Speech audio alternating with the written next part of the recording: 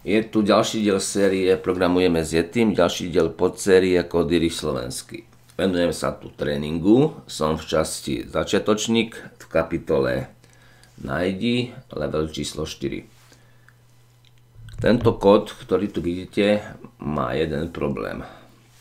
Ak by sme zmenili tú hranicu, cenovú hranicu tak, že metóda find nám nevráti žiadny výsledok, nenájde žiadnu knihu s cenou väčšou ako dajme tomu 15, tak tá, vtedy metóda find vracia nedefinovanú hodnotu a to nám spôsobí nasledujúcu chybu.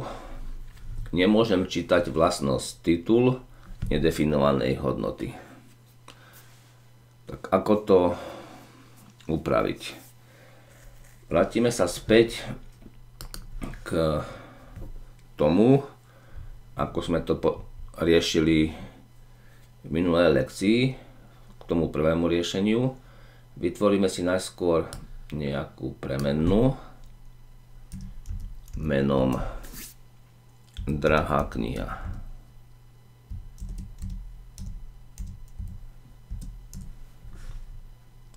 Tam priradíme celý ten objekt a potom si dáme podmienku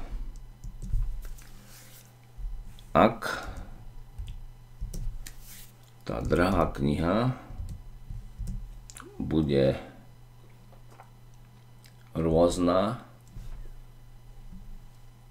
alebo môžeme to dať, že ak tá drahá kniha bude nedefinovaná, to znamená, tá kniha sa tam nenájde, podmienka býva v zátvorkách, tak v tomto prípade vrátime nejaký text. Môžeme vrátiť text.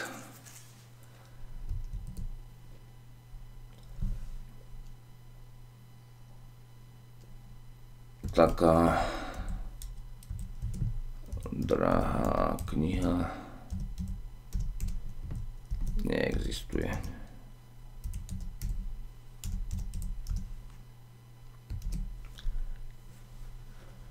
Inak, ak nejakú drahú knihu získame, tak môžeme vrátiť text, ktorým bude titulok, titul tej drahej knihy. No, titulok je nadpis titula. No, vyskúšame si, či to funguje. Taká drahá kniha neexistuje. Zmeníme to volanie. Dáme tam cenu 14. Tento raz máme výsledok strom obesencov, pretože je to prvá kniha, ktorej cena je väčšia ako 14 eur. Tak pracuje metóda Find, že nevráti všetky knihy, ktoré cenou vyhovujú, ale iba prvú knihu upravíme ten postup nejako tak, aby sme tam nemuseli použiť toto porovnávanie s nedefinovanou hodnotou, to sa malo kedy používa. Vieme to, že JavaScript dokáže konvertovať hodnoty na logickú hodnotu. Takže môžeme to dať nasledovne, že tam dáme iba takúto podmienku. Ak drahá kniha prípade, že nám to vráti nejaký objekt, tak to bude pravdivá hodnota. Takže vymeníme tie návratové hodnoty. Toto presunieme sem. Ak tá kniha existuje, tak vrátime jej titul. A ak neexistuje, tak vrátime ten text.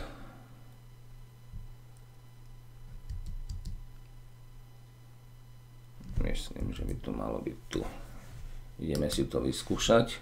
Máme 14, takže by sa nám má vrátiť názov knihu, názov knihy. A ak zmením tú cenu na 24, tak sa nám vráti text. Taká drahá kniha neexistuje. Mohli by sme využiť aj ternárny operátor. Takže toto všetko dáme preč. Nechám si ten text, ten potom využijem. Takže ako využijem ten ternárny operátor. Takže ak budeme mať drahú knihu,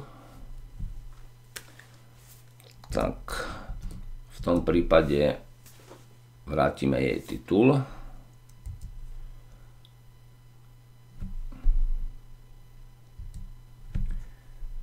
Inak vrátime tento text.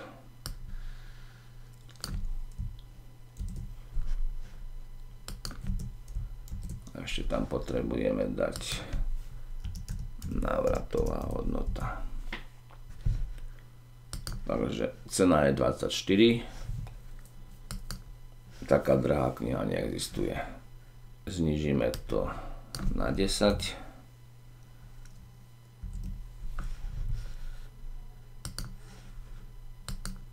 Šepot podzemia pretože prvá kniha s cenou väčšou ako 10 eur je kniha Šepot podzemia. Dúfam, že si spolu so mnou poviete, Vakata, pochopil som to.